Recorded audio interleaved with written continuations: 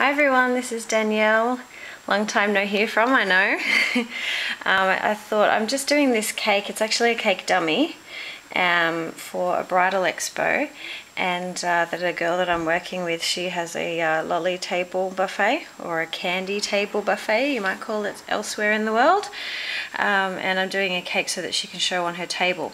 Um, and I was about to take the stencil off. This is, this is my second time doing a stencil. The first time was last week also for the same girl that I work with and it was a disaster. I tried painting um, like I wasn't sure you know I just used a paintbrush and sort of painted the stencil and it went all inside because this is a wraparound one it went all inside and it was just a big blur.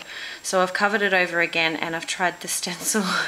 This is going to be really embarrassing if this doesn't work either but I just wanted to show you what I did. So I actually got um, my black color, which I use Sugarflair black extra. It's the only one that will actually color your fondant, your piping, your anything actually black, but I'm just using it almost straight. I did mix it with, it's not, my this camera is not great, it's not going to um, focus in, but it's cake decorating. It's just rose spirit. You can use vodka, um, you know, any clear alcohol because it's going to um, what do you call it, evaporate anyway.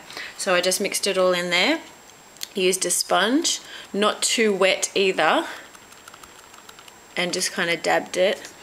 And then just, you know, went over it. And I did go over it a couple of times. Um, and I just went very slowly. Okay, now I'm going to see if I can set this on something so that you can still see. There we go. You'll have to excuse my hand for a bit because I'm going to reach in front. Oh my god, wish me luck. Yay! That's what I was hoping for. okay, so I just pinned it.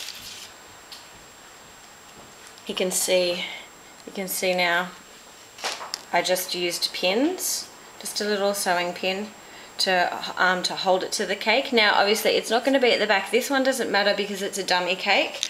If I were doing this for an actual cake I would wait till this dried and then I would you know obviously clean this off and then place it at the back try and match it up and do the stencil the whole way around but there you go there's my stencil cake so definitely use a sponge don't paint like I did the first time and I'll, um, I'll take photos and maybe even do a video if I have time of the finished product. Thanks for watching. Bye.